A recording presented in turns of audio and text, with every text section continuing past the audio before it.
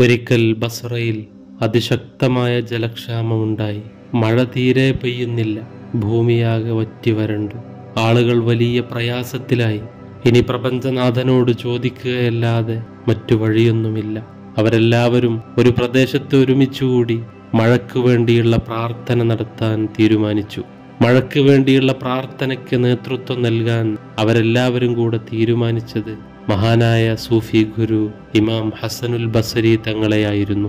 ജനങ്ങളെല്ലാം ഏകകണ്ഠേനെ മഹാനായ ഇമാം ഹസനുൽ ബസരി തങ്ങളെ പ്രാർത്ഥനയ്ക്ക് വേണ്ടി മിമ്പറിൽ കയറാൻ അങ്ങോട്ടേക്ക് ക്ഷണിച്ചു.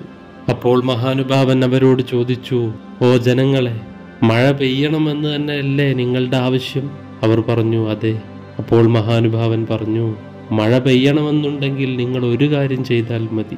ഈ ബസറ പട്ടണത്തിൽ നിന്ന് ഹസൻ എന്ന എന്നെ നിങ്ങൾ മറ്റെവിടേക്കെങ്കിലും നാട് കടത്തിയാൽ മതി. എന്നാൽ അള്ളാഹു നിങ്ങൾക്ക് മഴ തരും.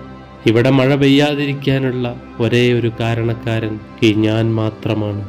നോക്കൂ മഹാനവറുകളുടെ വിനയവും താഴ്മയും എത്രത്തോളമായിരുന്നുവെന്ന്.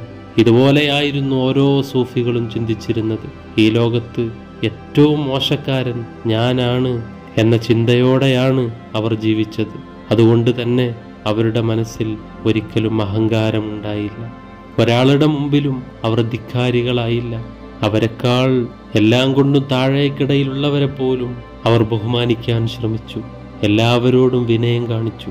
പ്രപഞ്ചനാഥനെ കൂടുതലായി ആരാധിക്കുകയും നാഥനെ വഴിപ്പെടുകയും കൂടുതൽ ഭയഭക്തിയുള്ളവരാകുകയും ചെയ്തു.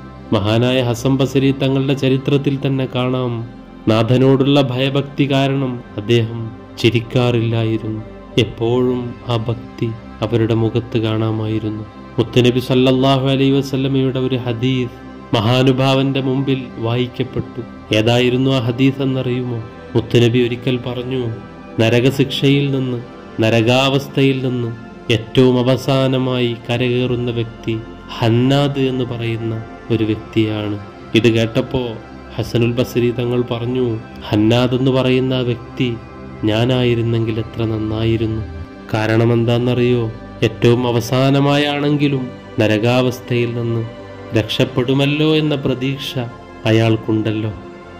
വെറും രണ്ടേ രണ്ട് ദിവസം നല്ല നടപ്പ് ശീലിക്കുമ്പോൾ ചെയ്ത നന്മകളെക്കാൾ ഇരട്ടി അഹംഭാവവും അഹങ്കാരവും നടിക്കുന്ന എന്റെ അവസ്ഥ എത്രത്തോളം ശോചനീയമാണ്.